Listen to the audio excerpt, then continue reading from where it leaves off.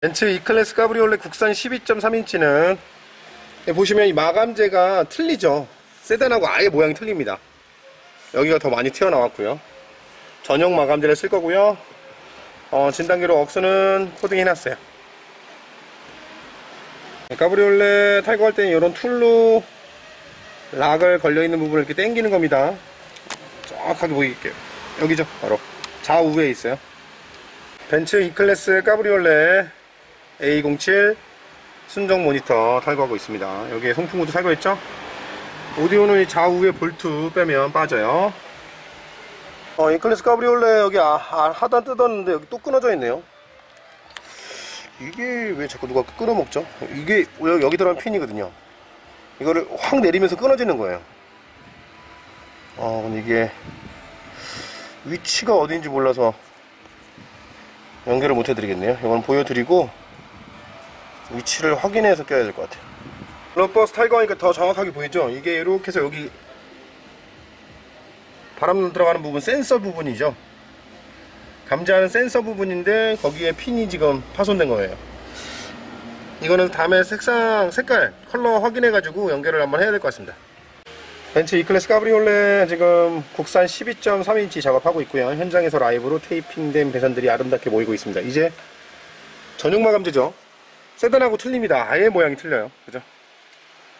전용 마감재를 구해서 시공해 드리고 있는 은평 카플레이스 캡틴홍. 자 아름답게 fit된 E클래스 전용 마감재를 확인할 수 있습니다. 얘는 순정 모니터 마감재고요.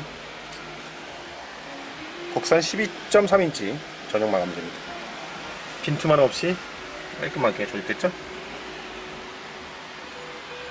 벤츠 제품들은 국산 12.3인치가 이렇게 보시면 시스템 시스템 설정 디스플레이 밝기.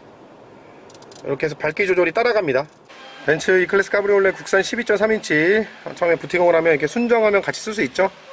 조구를 12시 방향으로 올리면 4가지 모드 이게 1번이고요.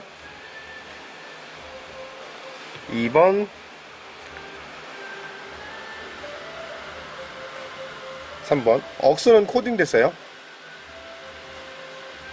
차량 스피커와 연결됩니다. 4번. 마지막 로테이션이 풀화면입니다. 이렇게 최대 밝기로 쓸 수 있어요. 지금 세팅하고 있고요. 멜론까지 설치하고 나서 나머지는 덮고 다시 나와서 마무리 세팅하겠습니다. 벤츠 E클래스 카브리올레 E클래스 카브리올레 GPS는 순정을 사용 안정적인 수신을 전용 어플로 확인할 수 있습니다.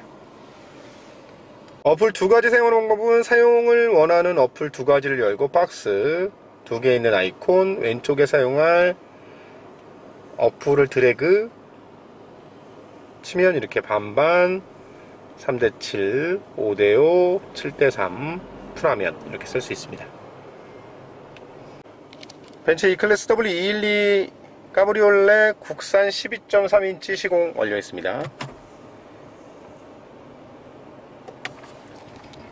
그래서 리턴 버튼 3초 누르면 오늘 작업한 M2C 200i 플러스.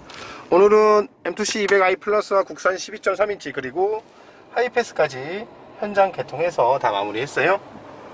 깔끔하죠?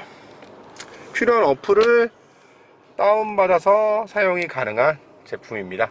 구글 플레이스토어 여기고요. 나머지 필요한 어플들 다 설치했습니다. 아이나비 3D는 데이터 없이도 기본 사용할 수 있어요.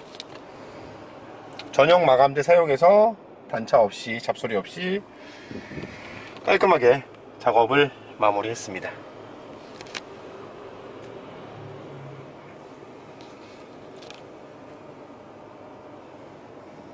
지금까지 은평과 프레이스 캡틴